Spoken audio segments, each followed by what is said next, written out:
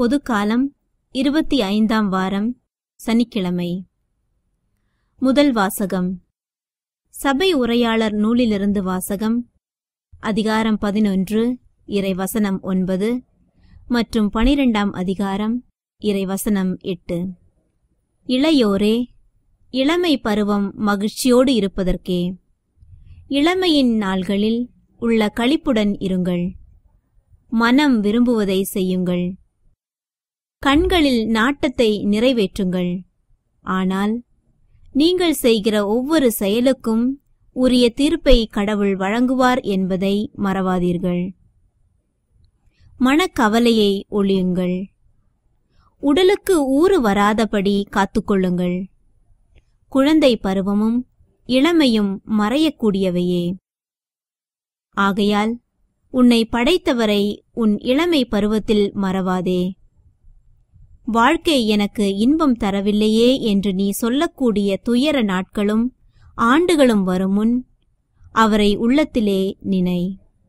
அதாவது கதிரவன் பகலொளி நிலா விண்மீன்கள் ஆகியவை உனக்கு மங்களாய் தெரியும் முன்னும் மழைக்குப் பின் மேகங்கள் இருண்டு வருவது போல தோன்றும் முன்னும் வீட்டுக் காவலர் நடுக்கங்கொள்ள வலியோர் தளர்வுறும் முன்னும் அரைப்போர் மிகச் சிலராகி தம் வேலையை நிறுத்திக் கொள்ள பலகனி வழியாக பார்ப்போர் ஒளி இழந்து போகும் முன்னும் தெருச்சந்தடி கேளா வண்ணம் கதவுகள் அடைத்துக்கொள்ள சிட்டுக்குருவிகளின் கீச்சொலியும் உறக்கத்தை கலைக்க இன்னிசை கருவி இசைக்கும் மகளிர் அனைவரும் ஓய்ந்து போகும் முன்னும் உன்னை படைத்தவரை உள்ளத்தில் நினை.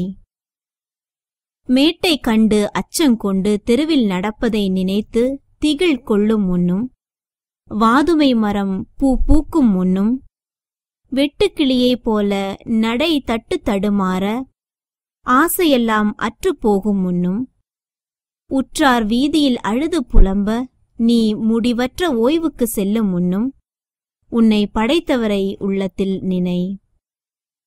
வெள்ளிக் கயிறு அருந்து பொன் விளக்கு கீழே விழுந்து உடைவதற்கு முன்னும் குளத்தருகில் குடம் உடைந்து நொறுங்க கிணற்றருகில் உருளை உடைந்து விழும் முன்னும் மண்ணினின்று வந்த உடல் மண்ணுக்கே திரும்பும் முன்னும் கடவுள் தந்த உயிர் அவரிடமே திரும்பும் முன்னும் உன்னை படைத்தவரை உள்ளத்தில் நினை. வீண் முற்றிலும் வீண் என்கிறார் சபை உரையாளர். எல்லாமே வீண். இது ஆண்டவர் வழங்கும் அருள்வாக்கு. இறைவா உமக்கு நன்றி.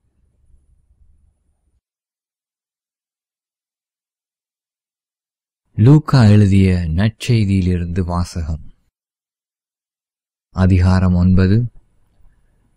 திருவசனங்கள் நாற்பத்தி மூன்று தொடங்கி நாற்பத்தி ஐந்து முடிய. அக்காலத்தில் ஜேசு செய்த யாவற்றையும் பார்த்து அனைவரும் வியப்படைந்தார்கள். அவர் தம் சீடர்களிடம் நான் சொல்லுவதை கேட்டு மனதில் வைத்துக் கொள்ளுங்கள். மானிடமகன் மக்களின் கையில் ஒப்புவிக்கப்பட இருக்கின்றார் என்றார். அவர்கள் அவர் சொன்னதை புரிந்து கொள்ளவில்லை. அவர்கள் அதை உணர்ந்து கொள்ளாதவாறு அது அவர்களுக்கு மறைவாயிருந்தது. ஆயினும் அவர் சொன்னது பற்றி அவரிடம் விளக்கம் கேட்க அஞ்சினார்கள். இது கிறிஸ்து வழங்கும் நற்செய்தி. கிறிஸ்துவே உமக்கு புகழ்.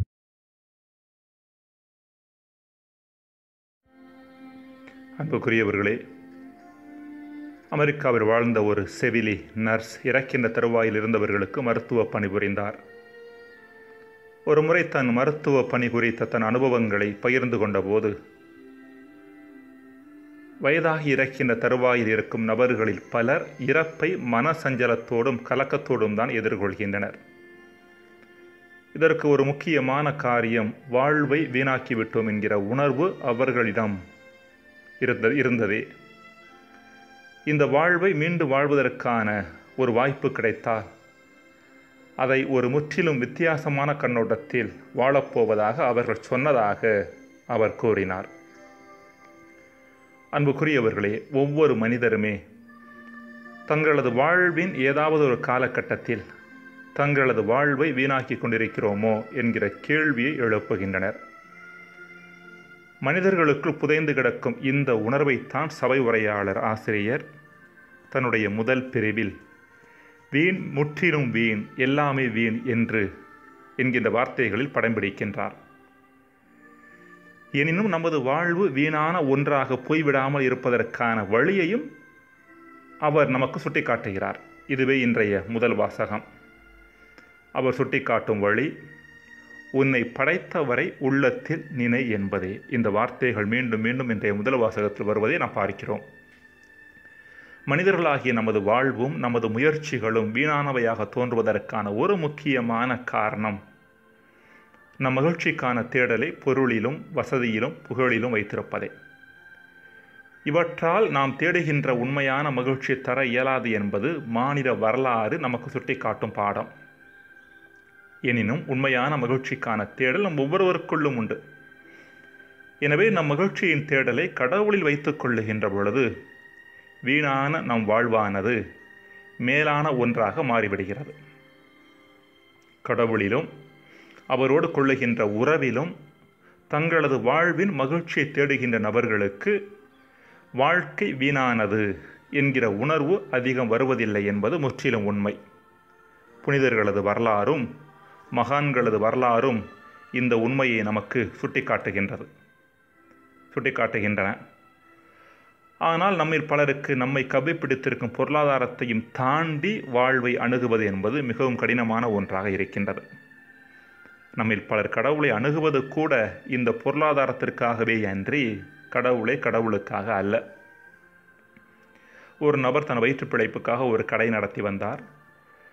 ஒரு நாள் அவரது கடை இருந்த பகுதி வழியே ஒரு துறவி வந்தார்.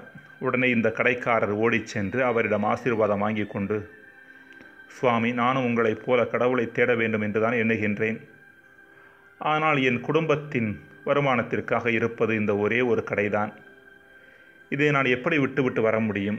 எனவே என் கடை பல ஊழியர்கள் வேலை செய்யக்கூடிய பெரிய கடையாக மாற வேண்டும் என்று ஆசீர்வாதம் செய்யுங்கள். அதன் பின்பு நான் அனைத்தையும் விட்டுவிட்டு உங்களைப் போல என் உங்களோடு சேர்ந்தே கடவுளை தேட வந்து விடுவேன் என்றார். அந்த துறவியும் ஆசீர்வாதம் வழங்கிவிட்டு சென்றார்.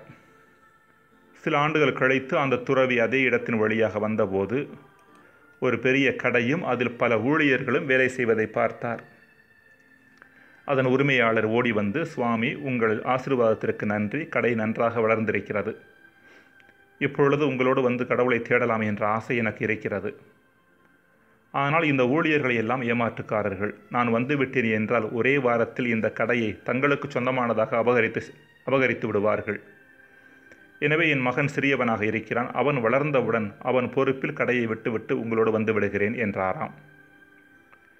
மேலும் சில ஆண்டுகள் கழித்து துறவி அந்த வழியாக வந்தபோது அவர் ஓடி வந்து சுவாமி என் மகன் இப்பொழுது கடைக்கு வர ஆரம்பித்து விட்டான். ஆனால் வியாபார நெளிவு சுழிவுகள் இன்னும் அவனுக்கு தெரியவில்லை. எனவே அவற்றை கற்றுக் கொடுத்தவுடன் நான் உங்களோடு வந்து விடுகிறேன் என்றாராம். மேலும் சில ஆண்டுகள் கழித்து துறவி அந்த வழியாக வந்தபோது பையன் மட்டும் கடையில் இருந்தான். அப்பா இறந்து விட்டதாக கூறினான். இதுதான் மாநில வாழ்வு. நமது நேரத்தையும் முயற்சியையும் முழுக்க முழுக்க பொருளாதாரத்திற்கு தான் அர்ப்பணிக்கிறோமே ஒழிய கடவுளை தேடுவதற்கான நேரத்தை நாம் அதிகமாக ஒதுக்குவதில்லை. இங்கு கொடுக்கப்படுகிற செய்தி கடவுளை தேடுவதற்காக பொருளாதார தேடலை துறக்க வேண்டும் என்பது அல்ல. மாறாக பொருளாதாரத்தை தேடுவதில் செலுத்தும் முயற்சியையும் உழைப்பையும் கடவுளை தேடுவதிலும் செலுத்தினோம் என்றால் வாழ்க்கை வீண் என்கின்ற உணர்வு பல மடங்கு நம்மில் குறையும் என்பதே. ஜெபம். இறைவா உம்மோடு உள்ள உறவு வாழ்விற்கு உம்மோடு உள்ள உறவு வாழ்விற்கு அர்த்தத்தை கொடுக்க வல்லது என்பதை உணர வரம்தாரும் ஆமேன்.